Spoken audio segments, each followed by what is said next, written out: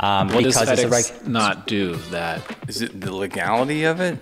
Um, it's one is the legality of it, and then there's kind of the justification for why it's set up that way. And there's a number of reasons. One is California really wanted to implement this thing called seed to sale. Um, essentially, they wanted to be able to trace from the moment the cannabis plant was harvested to when it ended up in consumers' hands.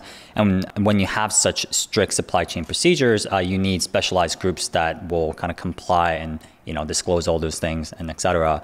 And FedEx clearly uh, isn't particularly specialized to do that. Um, the second reason is there's you know concerns around cross contamination. So people like weed now, but they're still not really sure if it should be shipped next to baby products, for example. That's fascinating. Yeah, yeah. Okay. I mean, I think generally, I think this this will probably remain the case. The same way, I think alcohol distribution, for example, is extremely specialized, and not just regulated substances. Um, if you're transporting hazardous materials like you know flammable gases, there are certain procedures Yeah. that you follow and licenses that you need. I was going to ask if this is the same where alcohol, tobacco are also not allowed to be transported next to, say, baby products, or if it's just pot. Yeah. Exactly. They specifically don't want to mix alcohol and cannabis because they're kind of concerned about you know the so-called cross-fadedness. I mean, there's a big opportunity in that. Obviously, you're taking Right. advantage of that. That's so fascinating.